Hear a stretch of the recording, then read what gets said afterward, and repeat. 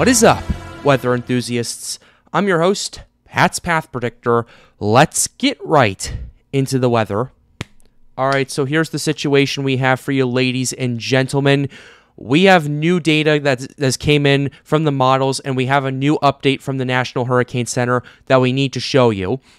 But before we get into that, I'm uh, I've been looking at some of the stuff. The ASCAT has come out and confirmed that there is likely a closed circulation at the lower levels right now. So we'll have to wait and see what the NHC decides to designate this at around 10 p.m. Uh, Central, 11 p.m. Eastern. If they're going to keep it in invest or if they're going to go for this to being a tropical depression.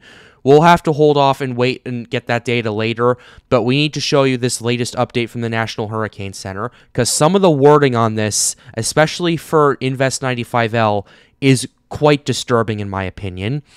Here's what we have going on.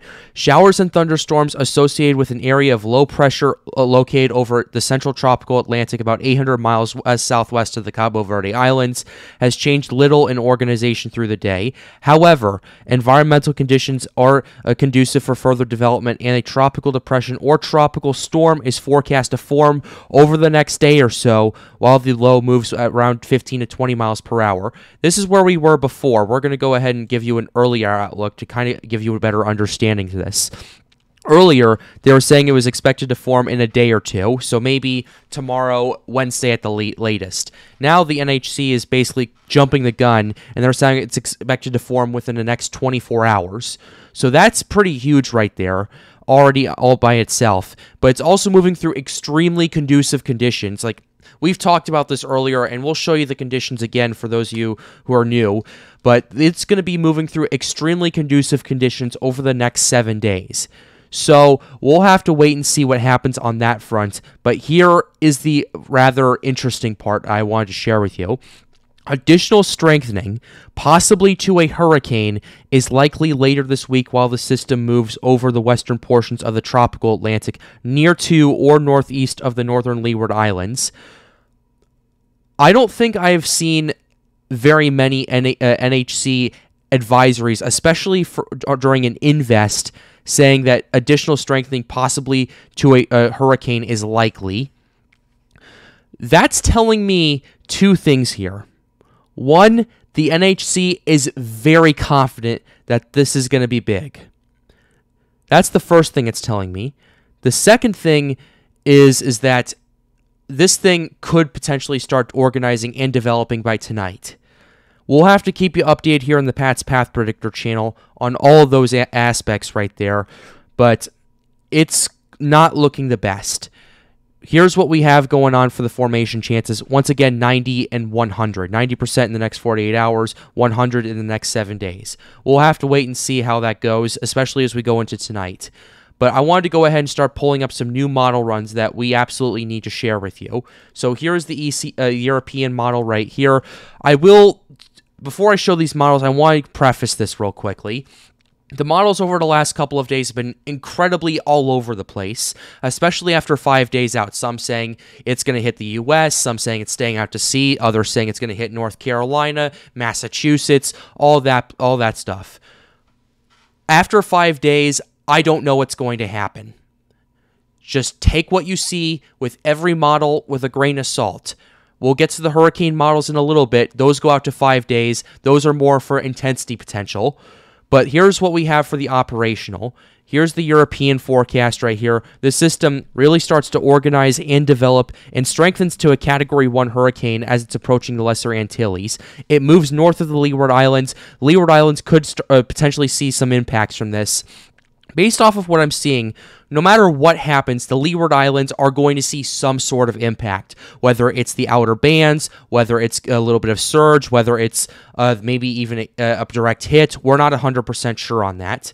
But what we do know is that they are going to see some sort of impact.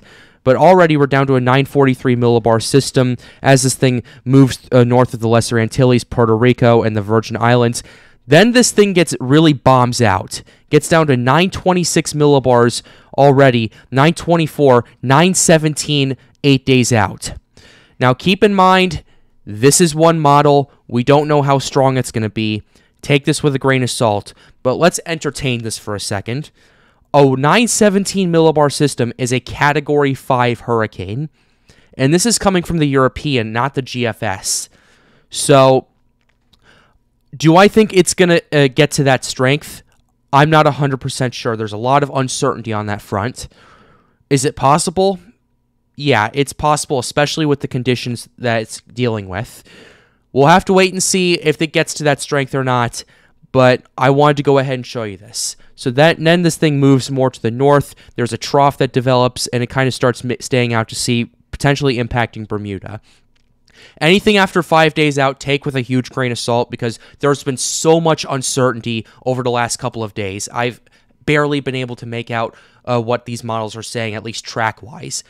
Now we'll go ahead and show you the GFS. We'll go ahead and show you that. GFS has this thing organizing, rapidly strengthening up to a 940s millibar system, moves even further to the north than the European from the Lesser Antilles. GFS usually has more of a northward bias uh, sometimes, uh, but this thing continues to organize, gets down to a 946 millibar system, starts to expand in size but weaken quite a bit. But the GFS still has this thing potentially impacting the northeastern United States with the outer bands and then approaching Nova Scotia as either an extratropical or post tropical cyclone. So that's what we have for the GFS. Keep in mind, anything after this point, take it with a grain of salt because there is so much uncertainty after this from all these models. Now, if I if there was like a consensus like with the Euro and the GFS and the CMC of where this may go, yeah, I I could definitely give you a better idea of this, but the models are so uncertain about its track, it's kind of hard to make out. CMC has this thing organizing, developing, strengthens to a Cat 2, impacts the Lesser Antilles. Then there's a bit of a trough right, uh, right here. Then the ridge starts building back up again. It does make that turn to the north right there. So the CMC is having this more or less staying out to sea, but again, it's there is a bit of a shift uh, from the uh, from the zero Z runs for for now, but from what I've been looking at the last couple of days, I'm waiting for the zero Z runs for tonight to kind of confirm what's going to happen. Now we'll go ahead and show you the icon run. The icon run has been pretty interesting. The icon has this thing organizing and developing and strengthening to a hurricane, making a direct impact to the Lesser Antilles, Virgin Islands, potentially Puerto Rico, and Hispaniola as this thing continues to weak, uh, rapidly strengthen down to a 950s millibar system right here. From what I am seeing, the European GFS and CMC are favoring a turn to the north. The Icon, JMA, and the NavGem are favoring more of a westward track. So the models are pretty split with what's going on. So that's our another reason why I'm so uncertain about this. So anything after five days, take it with a massive grain of salt because we have a lot of uncertainty. But here's what we can show you for the next five days. Here's the track models right here. Track models mainly have this thing pushing a little bit more uh, to the north of the Lesser Antilles for now, but right now is right now. There could be there's a lot of factors that go into this. The Bermuda High could really strengthen again, push it further to the south, or could weaken even faster. We're not 100% sure, but for the next five days, it's expected to stay pretty much in the in, in the central tropical Atlantic and maybe the Atlantic basin. Although we've seen some models, uh, especially with the Icon and NavGem, having this impacting the Lesser Antilles. So those are the track models right here. Intensity models, this is what we need to show you right here. Intensity models, the majority of these models now have this thing calling for a category 4 hurricane which is pretty interesting and it shows quite the confidence that this thing is going to intensify.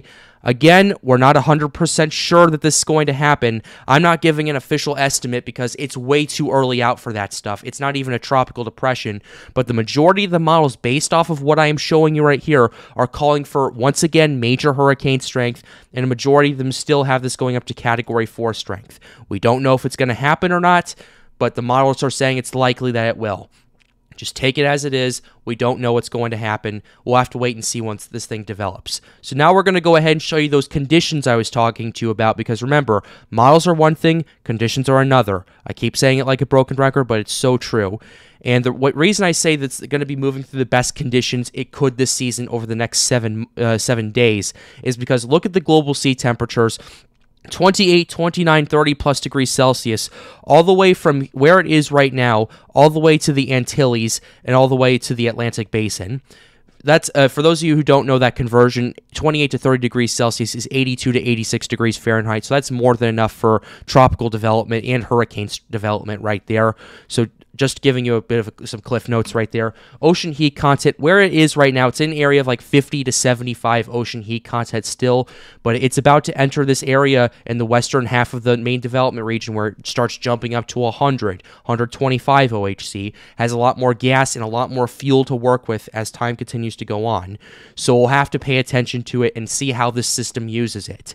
So with that being said, we're going to go ahead and show you the wind shear pretty much from where this is right here in the Atlantic all the way to the Bahamas, this is the best wind shear you could get for a tropical system right here. Wind shear is not going to do anything to stop this. So that's my main concern, especially with all of this. Now we're going to go ahead and show you some of the hurricane models right here. Here's the HMON. We're showing that you that the HWRF, the HAFS runs. The HMON, this goes out the next five days. These are more for intensity purposes uh, more or less. So this thing starts to organize and develop at a very rapid pace. In the next 24 hours, the HMON is forecasting this to become a hurricane at 994 millibars, and then things start to continue organizing and developing further. 48 hours out, we're down to a 975, 979 rather millibar system, which is indicative of a high-end Category One in extreme cases, low end category two.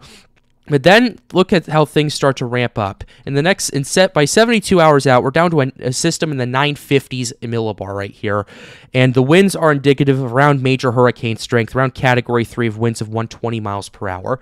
Then we're down out to 96 hours, 940 millibar system, most likely a Category Four hurricane at this point. And then we continue out for the rest of it. The pressure gets down to the 920 millibars right here.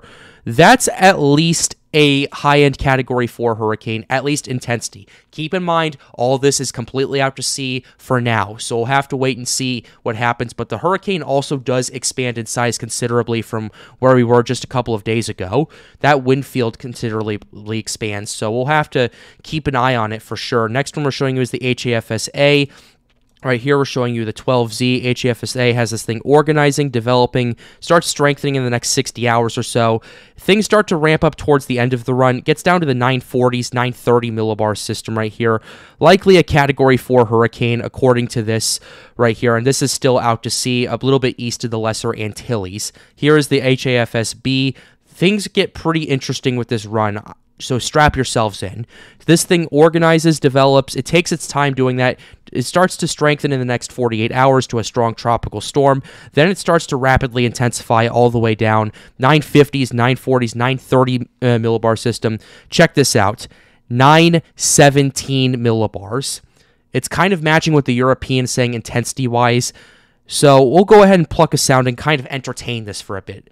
So already we're looking at 135 to 140 knots at the surf at the surface, which is about category 4 low end category 5 strength. Again, we don't know that this is going to happen or not. The conditions are good for this kind of stuff, but we don't know exactly what will happen. So take this with a grain of salt. I'll keep you updated here on the Pat's Path Predictor channel. And the one thing I need to stress to everyone is remain calm, Continue to monitor the situation. I'll give you the data as it gets out, but we'll close the video out right here.